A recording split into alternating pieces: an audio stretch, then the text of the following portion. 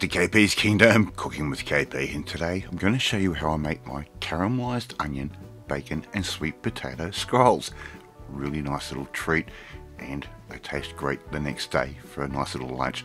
Right, first thing I've got, I'm getting some uh, aluminium foil, just cooking foil. I'm going to put a couple of sheets down there just like that. Now, what we're going to do, we've got our sweet potatoes, they're already peeled and I've given them a little bit of a top and tail. I'm just going to roll that up in the foil just like I'm doing right there. Just wrap it up as though you were doing a piece of corn. My oven is already sitting at 180 degrees Celsius, the magic number of course, and all we've simply do is roll this up, get the edges, bring them in. We want these totally sealed so they'll cook in their own juices. So there's the first one. Put that aside on a baking tray. Your second one. Now you can use more or less depending on the size of your sweet potato or kumara. You can also use that as well. Straight into the oven around about 35-40 minutes. Right, take those out, they're still quite warm. Get a nice bowl. Just put that sweet potato straight into the bowl just like that. Make sure you get rid of all the foil of course. Put the second one in and as you can see they come out quite easily and they're really really soft. Now I'm actually just using a a normal knife. I'm just going to slice through that a little bit give it a bit of a choppity choppity right? And all we're going to do now is we're going to uh, get our potato masher or our vegetable masher. Now we've only chopped that so far. We haven't squeezed it or anything. Get your favorite cheese sliced sorry grated and put that in a good handful's worth. Nice bit of black pepper, just straight over in there like that. A little bit of black, a little bit of white. I'm going to add in a nice little dash of ground cinnamon and just a pinch of ground nutmeg. You can use the fresh stuff if you've got it. Okay, we're just going to give that a mash through. That cheese is going to help hold everything together when we cook this off for the second time. So just give that a nice little quick mash through, make sure everything's mixed through and is nice and even. It's not real hard to do. And if you haven't tried mixing these flavors together before, wow, this is going to blow your mind and your friends and your families, believe it or not. Right, some puff pastry. I'm just going to score that with the back of a fork. If you're a subscriber, you might have seen me do this before. give that a little bit of a key that is a technical term. A little bit of egg wash, which is an egg with a dash of water beaten up. And we're going to just invert those two rough edges together.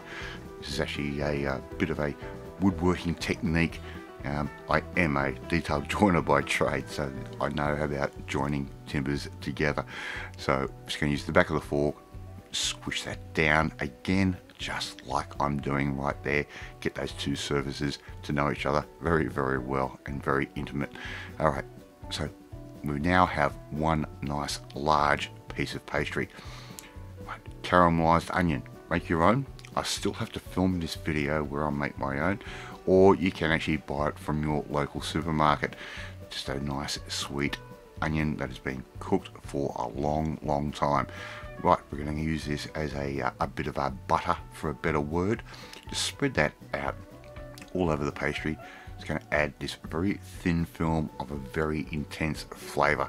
So, caramelized onion is just amazing. Uh, if I haven't already made it before and I need it in a pinch, I do prefer to use the Beerenberg brand here in Australia. It is just mm, to die for.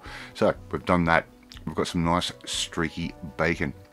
We're going to lay that down around about half an inch from the edge, right? Just lay that down right next to each other. We're going to end up with a nice layer of bacon for our filling to sit on. And this will sit on the outside and go into the inside. And this bacon will cook off in the oven. We've already got our oven sitting at 180 degrees Celsius. Now, take your cheese and sweet potato mixture. We're just going to lay that straight over the top of the bacon. Just a nice layer around about 3 eighths of an inch or 10 millimeters thick. You can make it thicker if you want. Just remember, the thicker you make it, the more moisture you're going to have. Now, all we're simply going to do now is we're going to roll this up. Make sure you get rid of the blue plastic. It does not taste good at all. Believe me, I've tried. So, having another bad day with my MS symptoms and I don't know why I try to film when I'm having a bad day, but it's just something that I end up doing. We're going to just roll that straight up like this. Like that, like a nice big sushi roll, a big spring roll. Right, all done. Nice sharp knife. And we're going to cut these around about an inch thick, maybe a little bit thicker if you want to. Put those straight down on a bit of baking paper on a uh, baking tray. And uh, that is pretty much all we have to do now is just uh, put that straight into the oven to cook. As I said, 180 degrees Celsius that's all we need for these. And this is a great recipe. If you want to make it vegetarian, leave the bacon out. Simple. Uh, if you want to, uh, you could actually add a bit of spinach to it. It wouldn't matter. That's giving me an idea for another recipe, believe it or not. Put those down straight into the oven. And before you know it, they are going to be cooked. As I said, if you haven't tried this combination before, you don't know what you're missing. Alright. It's time to plate up. Look at those beautiful little golden rings of delight and pleasure. It's absolutely amazing the flavour of these. I'm going to serve these up with a little bit of uh, dill pickles. If you don't know how to make dill pickles, you should be a subscriber and you'll see my video on how to make your own dill pickles. Alright, thank you so much for watching this video. Really do appreciate it. If you like this video, hit that like button. It gives me confidence. Leave a comment. Love to hear from you. Love responding to you or share this video with all your friends on all platforms of social media. Hit that notifications bell so you never miss another one of my videos again. More importantly, you want a little quick idea, again, a nice budget recipe, you need to come and join the family, my family. Hit the subscribe button and you'll never miss another one of my videos again. Thanks for watching and I will catch you next time. Bye!